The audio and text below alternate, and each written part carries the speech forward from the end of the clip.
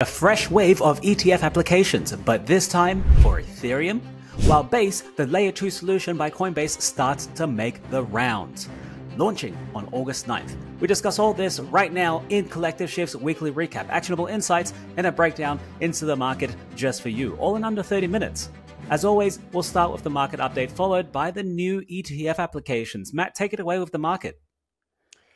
What can I say, Leon? Another flat week for crypto. Uh, sound like a broken engine in 2023 so far, but everything is coiling up. You can feel sort of the pressure, the frustration in the market. Uh, the traders are even very frustrated at the moment. You can feel the tension.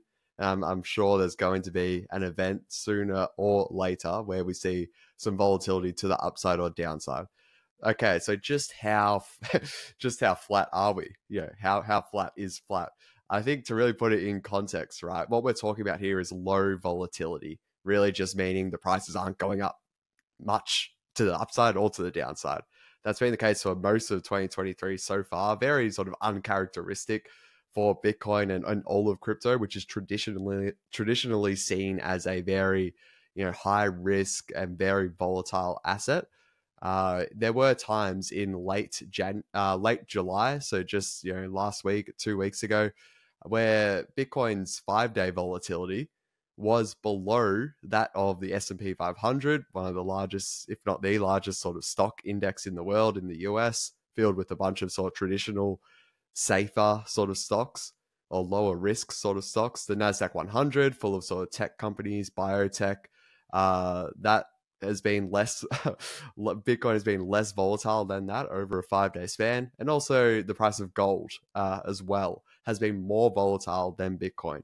Uh, so this is very a very rare occurrence. It's hap- it has happened uh, sometimes previously uh, but the, it did happen one of those rare times in late july. So you know what does this all mean? It really for exchanges low volatility equates to very very low volume because traders don't have any signal or any movement to sort of trade off of. They enjoy price action that's that's very volatile because it allows them to, you know, you know, draw all those lines on the charts that you might see and uh, you know, wait for prices to fill certain areas for them to execute on trades. So the exchanges at the moment are sort of taking a hit.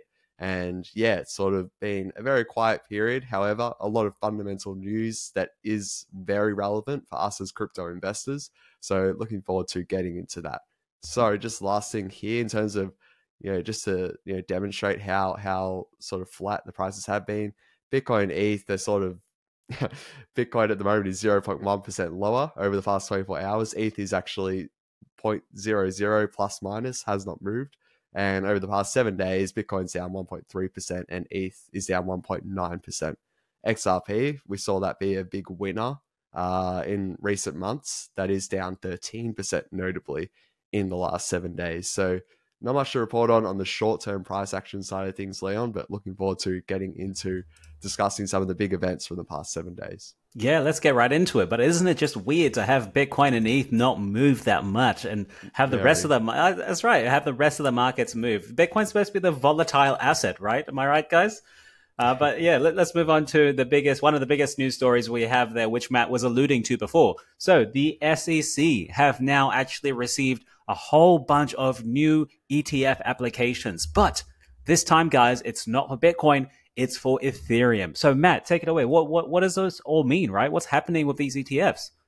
Sure. We won't spend too much time on this. I know, you know, a lot of the audience is probably sick of all this ETF talk. Uh, it's been going on for about 10 years in this industry to no avail, at least in the US. However, notable at least to put it on your radar, that last week there were a wave of ETF applications, as Leon just said, in relation to Ethereum. So we've been talking in June, July, and into August now, all about Bitcoin ETFs, and there's a very increased probability that you know they are going to be passed, at least according to all the expert ETF analysts. However, we have not been talking about ETH at all. So, what does an Ethereum ETF look like? There have been attempts to apply for one to the SEC previously, and they've denied them all. I think it's around 10 attempts or so. Bitcoin has had a lot more attempts, and they have all failed to date. Uh, notably, this ETF for all 12 of these, so there were 12 last week that got applied. and all of them were in the design of a futures ETF, uh, as opposed to you know the spot, uh, you know, basing it on the spot uh, sort of price, uh, which we've talked about you know many times previously. Why that distinction is very important. However, you typically see futures be the first of the two to be sort of uh, approved by the SEC, as we saw the case with the SEC approving the Bitcoin futures ETF. Um, you know, in the past one to two years, but they are yet to approve the Bitcoin spot ETF. So, yeah, I'm not going to name out all the names who applied for it. To really simplify it, one of them, one of them applied for an Ethereum futures ETF, and basically all of the other ETF issuers out there, more or less, have a saved version of a proposal in their hard in their sort of shared workspace online and they would have all basically just maybe changed a couple of minor details and then sent it into the SEC. So that's why you see such an immediate copycat reaction. It's essentially FOMO from the ETF issuers because the prize is so large for being among the first to be approved for a an ETF into a new asset class.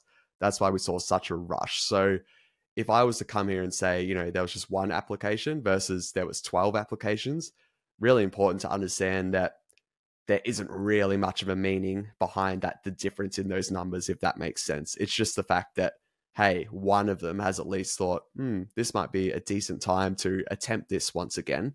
And now you've seen a wave of copycats. So, in terms of deadlines, we talk about ETF and deadlines a lot of the time.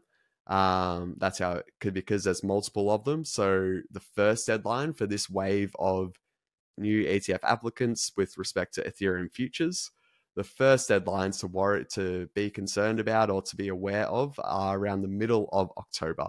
If history is anything to go by, the SEC will get towards that date and then they'll announce, hey, we need a bit more time here. And then they will extend it, you know, another, you know, two, three months. So that's probably going to be what happens in this respect. But uh, yeah, it was uh, surprising to see the ETF uh, conversation change, Leon, from all the focus on Bitcoin to now Ethereum just last week. That's right. It's so funny, isn't it? It's like all the school kids are trying to submit oh, yeah. their homework and they're trying to like uh, copy the kid next to them and give it to the teacher. And like, hey, teacher, look at that. Look at my homework. It's much better. yeah, that's how I think about it. But I, I, have got a question for you there, Matt. So mm-hmm. um, I'm an Ethereum investor myself, and some of my friends are Ethereum investors as well. But so what does this actually mean? Is this news bullish for us? And uh, like to what degree, if a, a futures ETF actually does get approved, is this good news? Yeah, it's a great question because you know just because a lot of headlines are talking about it, you can automatically you know think that it's super relevant for investors. You know, and a lot of people really don't even talk about you know what the implications are. So it's a good question. For me, I would say an approval. Let's just have an example where the SEC does approve these. I would say a net result from that is that it is bullish ultimately for ETH for ETH investors because I would believe uh, it would add more. You know, why do I say that? I think it would add more validation and legitimacy to ETH itself. Some people would say that legitimacy isn't even necessary because it's through the eyes of you know, TradFi or traditional finance. However, reality is that is an extremely important uh, area of the world or the economy that, you know, in my opinion, needs to get exposure to crypto if it is going to go and become a very much larger market than what it currently is today. So, yeah, to, to answer your question, I would say it would be slightly bullish for ETH overall. Uh, and also, then if, if a spot Ethereum ETF were to get approved, uh, that would be the, the next step that would inevitably come. Then yep. that would that would then itself be very bullish as well. So we're nowhere near that stage yet, but there's sort of degrees of bullishness and sort of steps in this process to sort of legitimize legitimize ETH and, and make it part of the traditional financial world. Yeah, and I mean, uh, I just think about it. They've rejected so many other uh, ETF applications. So mm. really, what do we have to lose unless uh, we're, we're bullish, right? That's that's mm. how that's the way I think about it. Uh, so thanks for that update on the uh, ETF space, Matt. It is uh, super complicated, but rest assured, at Collective Shift, we do keep you on track. Everything's anything you need to know.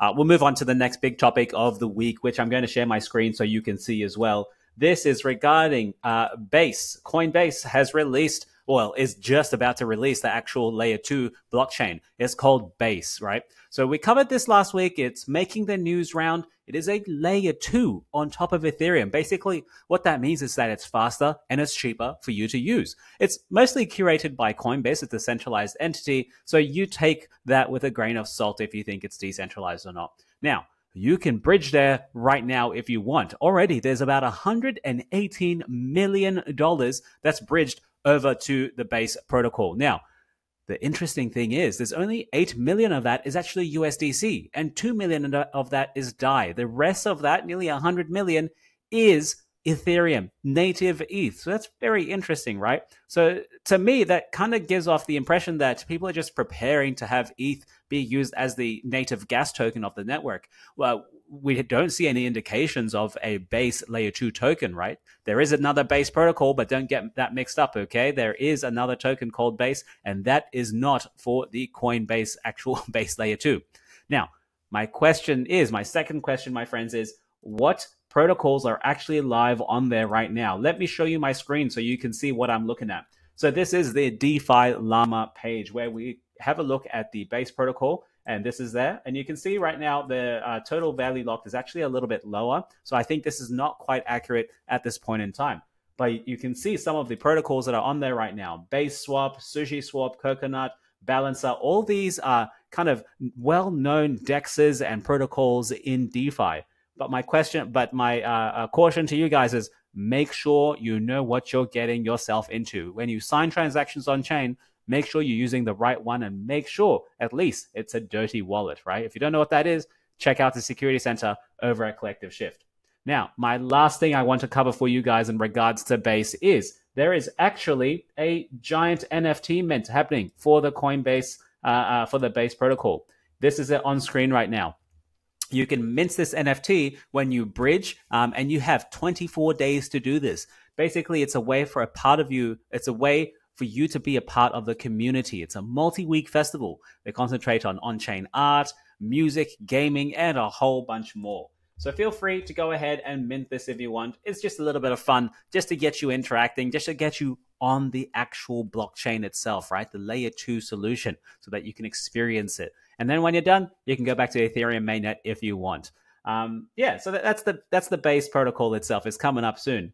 But uh, my question is, uh, Matt, I think a lot of our viewers might be uh, wanting to know as well why why do we even need another layer two solution? What makes the difference? Why is this why is this any different than if Arbitrum or Optimism? Right? What do you think? Uh, it's an excellent question uh, because really the, the the experience or the you know the the the choice from a user's perspective once they're on optimism or once they're on base or once they're on arbitrum one arbitrum nova you're more or less doing the more or less the same yeah. activities and whatnot uh, so it's a great question to ask my sort of um, place for area where i would come from when you know distinguishing base from all the others and sort of arguing why it is necessary would be that just sort of Coinbase like be behind is behind the actual L2 itself.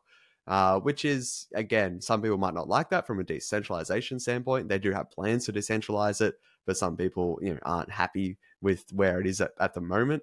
Um, however, I think this is again sort of like what I was saying with the traditional finance aspect of things. I think it is a necessary step uh, to sort of help crypto expand to the masses.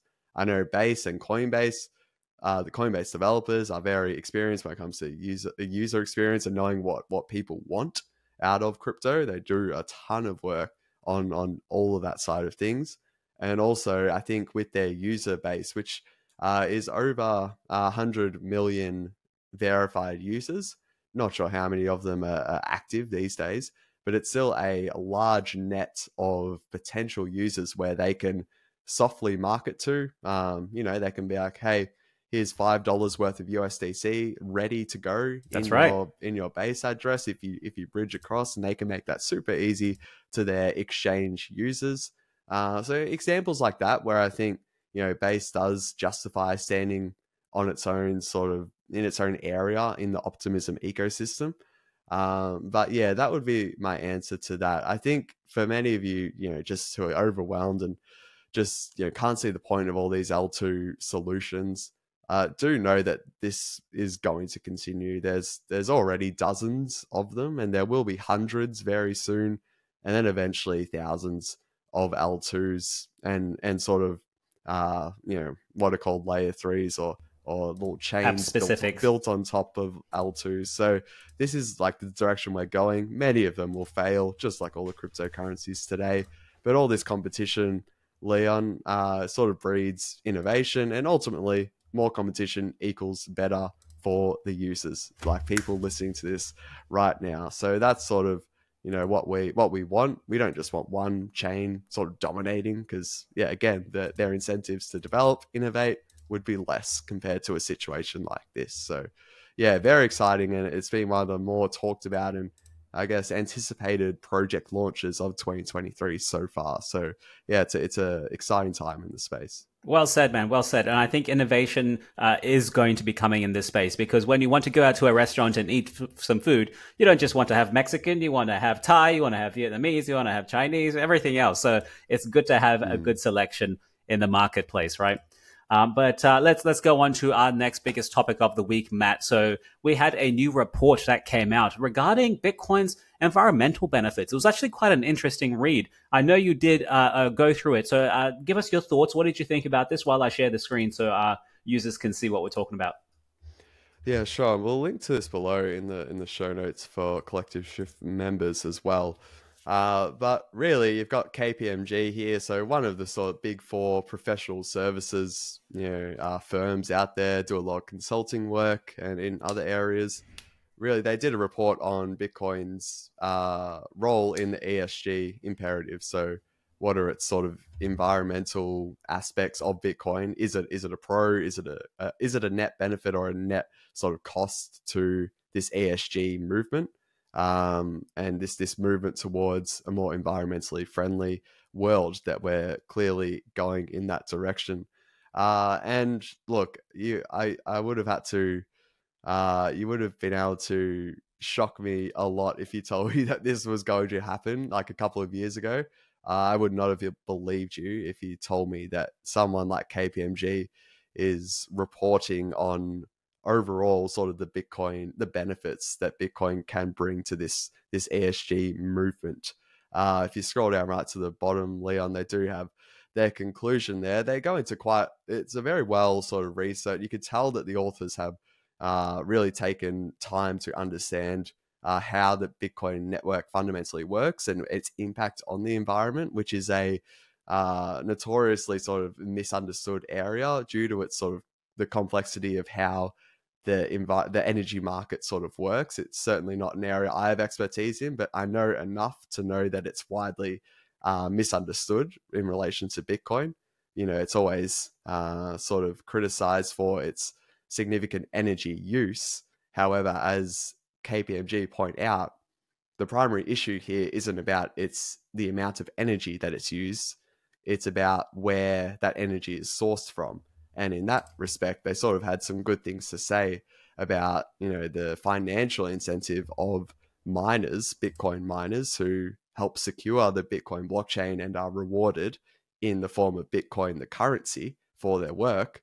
Uh, you know, KPMG points out that they are financially incentivized to look for the cheapest source of energy, which in many parts of the world is fast becoming renewables. Uh, so yeah. again, sort of that that feedback loop, and in their conclusion here, which we do have up on the screen, you know, they they acknowledge that Bitcoin appears to provide a number of benefits across an ESG framework throughout Bitcoin's short history.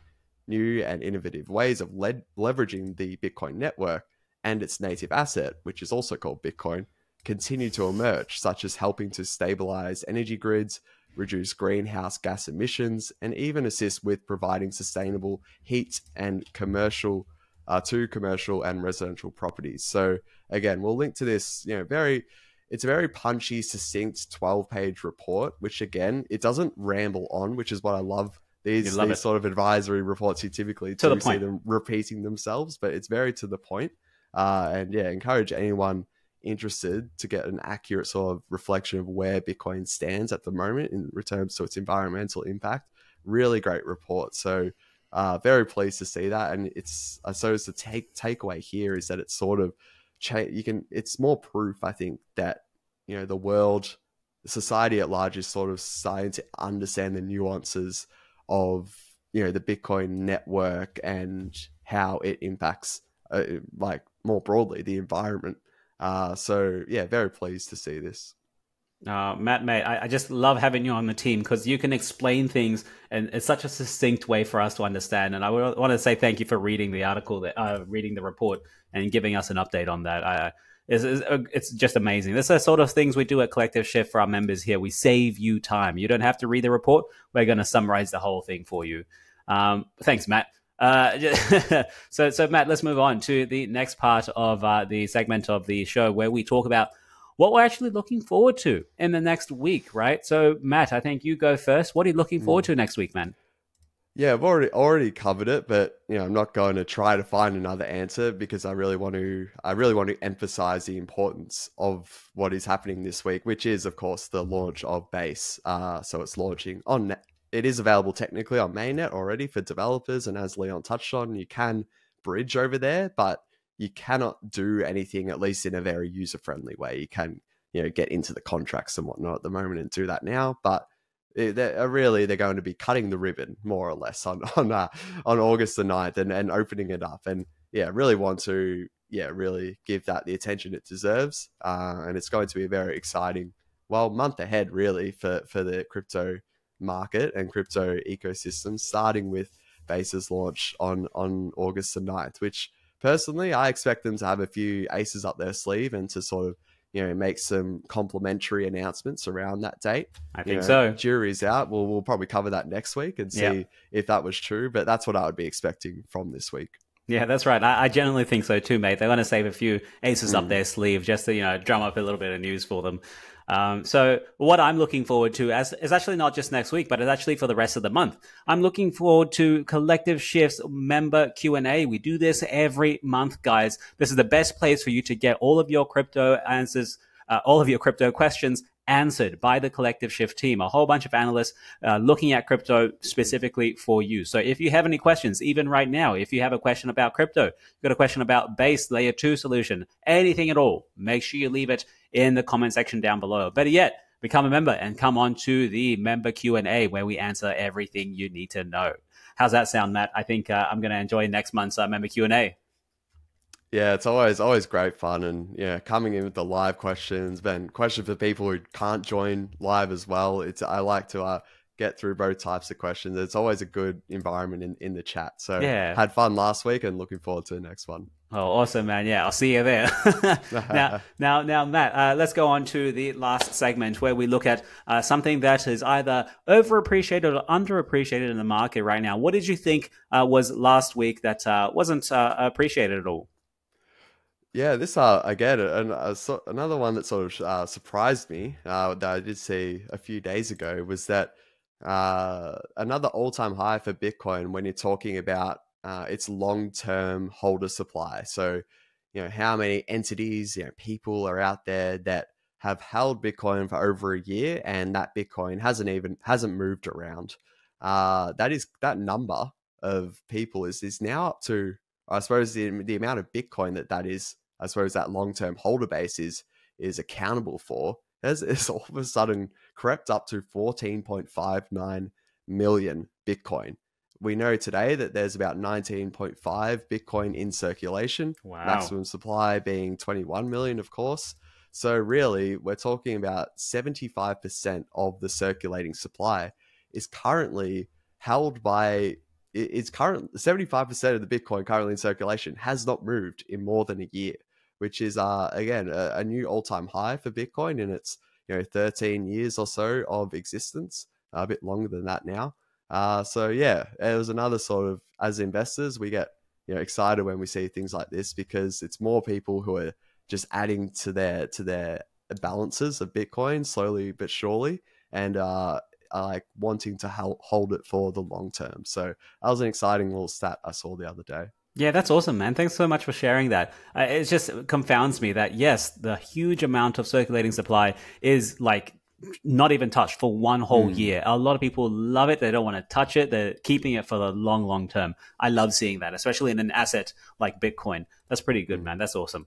Um, what I wanted to share was that uh, I found out that uh, you can actually be earning about 8% on your DAI, which is a stable coin. So 8% is a pretty good rate. Right now, it's called the DAI savings rate, the DSR. It is subject to change because of MakerDAO's governance vote. So it could be, you know, changing in the near future. So don't take it as your piggy bank. I just thought it was something super interesting because your bank account now with your mortgage probably gives you 5%, 6%. But now a stable coin gives you 8%, which is pretty crazy. But always keep in mind what are the risks associated with this interest rate? What are they doing to your coins to actually give you 8%, right? That's the question you need to be asking. Nothing is free, my friends. And that's a wrap for this week. We're going to end it there. If you're looking for more insights, make sure you see our weekly revamped Collective Shift newsletter, providing free market insights every Friday. Make sure you subscribe at collectiveshift.io forward slash newsletter. That's collectiveshift.io bit.io forward slash newsletter. We'll see you very soon, my friends.